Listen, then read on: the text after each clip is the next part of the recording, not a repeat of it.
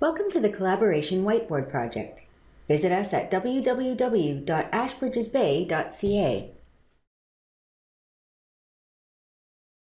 This is our November 24th, 2014 Progress Update. The Collaboration Whiteboard Project is an innovative learning solution from Ashbridges Bay Consulting. The project is focused on Cisco Collaboration Systems solutions. The project provides a navigable web interface of recorded whiteboard drawings describing what needs to be done to enable collaboration in your enterprise. We use a reference enterprise, Enterprise 20, to illustrate all aspects of Cisco Collaboration Systems Solutions deployment. Cisco's vision is any device, any content, anywhere. The Enterprise 20 objective is to deploy Cisco collaboration. Users can have many devices, Devices include smartphones, tablets, laptops, and workstations, as well as phones of various types from simple to HD video enabled. Users will have unified messaging, a single mailbox for all kinds of messages. Users will have web as well as TUI and email access to messages. Users will have IM and presence. Users work at many locations. Users will be mobile and users will have a simple intuitive client that works anywhere on any device. Jabber. We start with Cisco's CUWL Standard licenses, Cisco's most popular. We deploy these Cisco collaboration applications to get the most from our CUWL Standard licenses.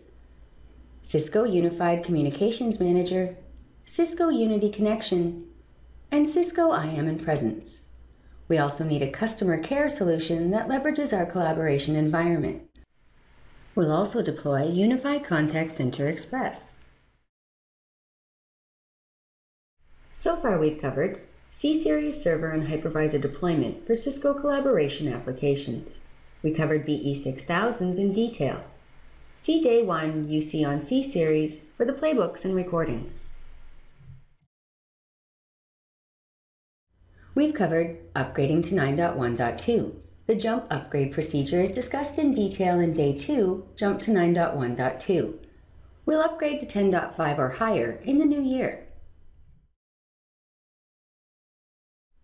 And we've covered installation of a two-server highly available solution for Cisco Unified Communications Manager, Cisco Unity Connection, Cisco IM and Presence Server, and Cisco Unified Contact Center Express. See our Installation Day module on the Day 2 Greenfield tab. Now we are focused on the Enterprise 20 dial plan build. These playbooks take us from the end of installation day to the point where the phone, user, and feature administration team can take over, and where we can also integrate with other applications. We have objectives for the dial plan build. We want to make it easy for users to understand how dialing works. Users' internal numbers are their external numbers but with an 8 instead of the area code. Dialing external numbers at work is just like dialing from any other phone except use a 9. Call forwarding works like users expect. If they can forward a call to a number, then callers will be redirected to that number. Call lists can be used to return most calls with one-click dialing. And users can be mobile. If users log into a site, then all dialing, internal and external, from call lists and call forwarding as well, works just like it does at that site. We'll produce dial plan end user training for a look at this from the end user perspective.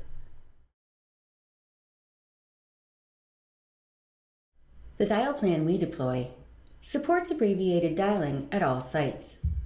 Supports overlapping 7 and 10 digit local dialing with or without post-dial delay. Supports the following classes of service. Internal, local including toll-free, long distance, international, unrestricted, and no 911 versions of the above. And it ensures that call forwarding, AAR, CFR, presence, call lists, and mobility all work together as well as possible. Enterprise 20 has 10 sites. We need to route calls out local gateways at each site. Dialing is different at different sites. users roam between sites. Users have multiple devices, including devices outside the enterprise. We want users to dial naturally, and call forwarding, call lists, and directories to all work in a way users understand. And we want to deploy features like AAR and CIFR. We built a lab to illustrate the Enterprise 20 build. Playbooks and recordings are based on the lab. We built a no router solution so subscribers can easily duplicate the lab and run the playbooks. The lab environment is as realistic as possible. We have DID ranges at each site to illustrate different aspects of dial plan configuration. The Multi-Site Collaboration Lab provides simulated PSTN connectivity, allowing a comprehensive dial plan to be built for Enterprise 20. Each site can dial all different kinds of numbers,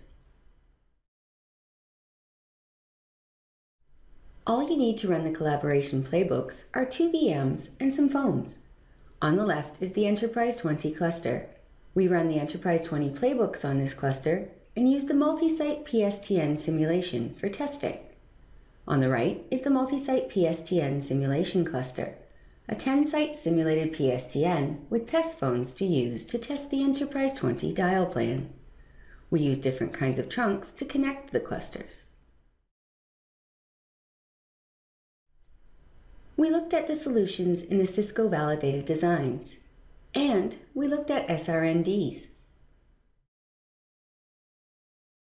We are finalizing the lessons for the dial plan build.